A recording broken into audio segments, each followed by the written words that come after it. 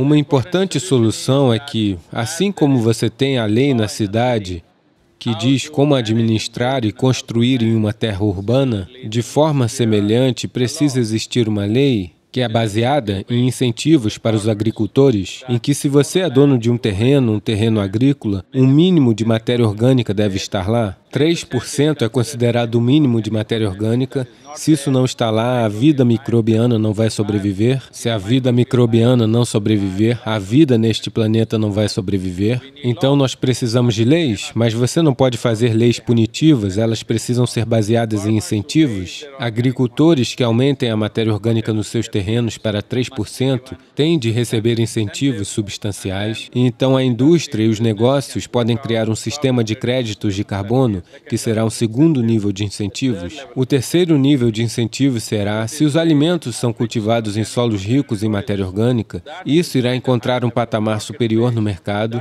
que irá criar melhores nutrientes para as pessoas e uma melhor saúde e uma saúde preventiva para as pessoas e muitos outros benefícios para o país, em termos de pessoas saudáveis e felizes que vão se tornar mais criativas e produtivas. Então, tem esses três níveis de incentivos que nós precisamos criar, criar nesta COP15 e fazer isso parte não apenas da Costa do Marfim, mas também de todo mundo, que os agricultores devem obter esses três incentivos. E também existe um grande problema em que poucas pessoas estão indo para a agricultura atualmente porque ela não é suficientemente lucrativa. É importante que um agricultor ganhe pelo menos tanto quanto um médico, um engenheiro, um advogado ou quem quer que seja, porque caso contrário, todo mundo vai se mudar para as cidades, ninguém vai vai viver nas fazendas, é muito, muito importante que as pessoas vivam na terra, porque a terra é a base das nossas vidas.